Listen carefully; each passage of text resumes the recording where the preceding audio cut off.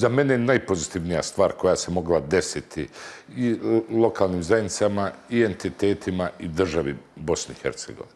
E, mi u našim lokalnim zajednicama raspolažemo sa određenim resursima, sa nekretninama. Ne možemo to sve da upotrebamo onako kako bi želi. Nama treba svjež kapital. Kreditna zaduženja ne dolaze sada u obzir. Ne, dola, e, ne dolazi u obzir neko izdvajanje iz budžeta za finansiranje ovih projekata. I ovo, ovaj oblik je sigurno sada najpovoljniji.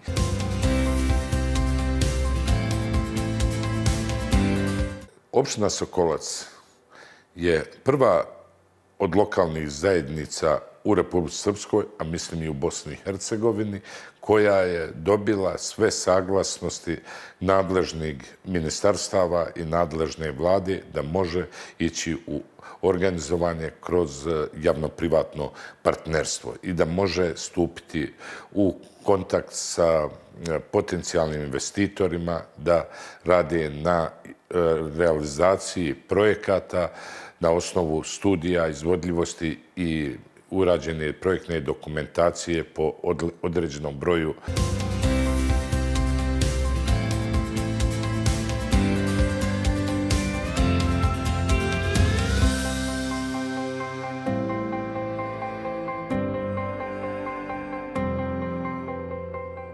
Mi smo znači, radili najvećim dijelom kad je u pitanju energetska efikasnost, Tu smo e, uradili studiju izvodljivosti kad je u pitanju kvalitetnije rješavanje grijanja u našem mjestu, to je to, kako kažu, daljinsko grijanje, proširenje toplane za, u, u našem mjestu za neki 4,1 MW toplotne energije i 1 MW električne energije i proširenje toplovodne mreže za 100.000 kvadratnih metara.